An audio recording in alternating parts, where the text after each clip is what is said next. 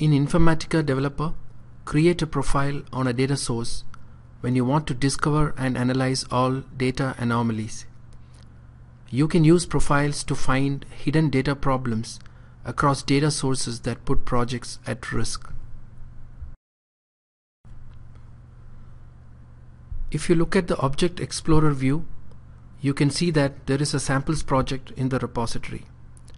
We will run a profile on the customer underscore central flat file data source. Right click the customer underscore central flat file data object and then select profile.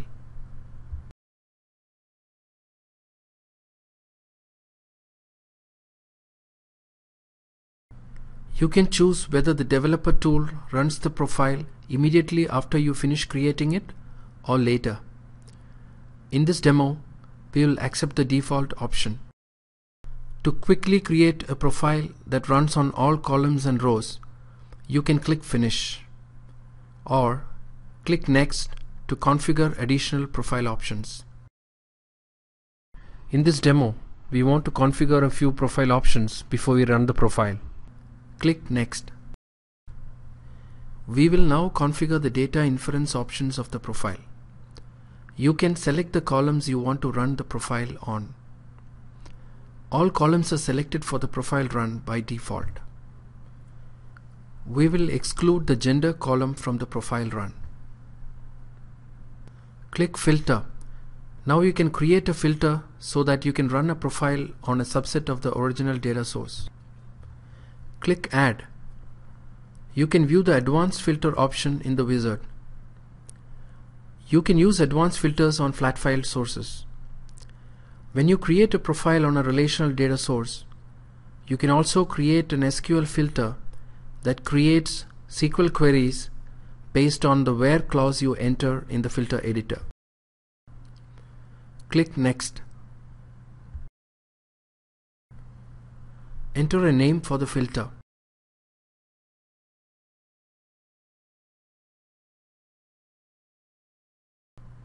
You can make the filter active when you create it or you can activate it later. In this demo, we will accept the default option. Click Next. You can use functions and columns to specify filter conditions. Click the Columns tab.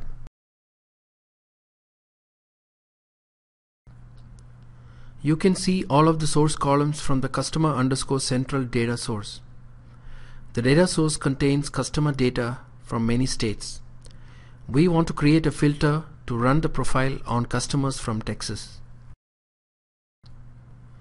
You can enter an expression in the editor on the right to define the filter condition. You can validate the expression to verify the filter condition. When you click Finish, the expression editor validates the expression automatically. You can see that the expression is valid. Now we will review the sampling options for the profile. Click Sampling Options. You can choose to run the profile on all rows in the data source or a subset starting from the first row. In this demo, we'll run the profile on the first 500 rows. Click Finish.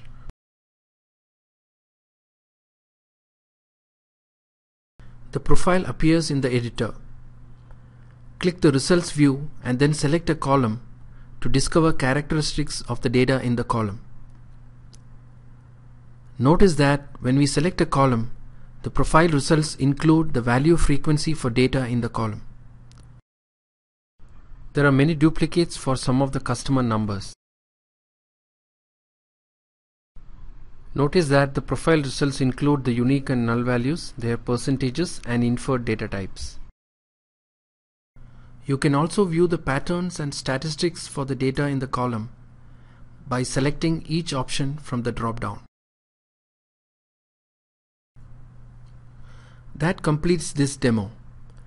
To summarize, we created a profile on a flat file data source, selected the columns to run the profile on, added a filter, configured the sampling options, and then ran the profile.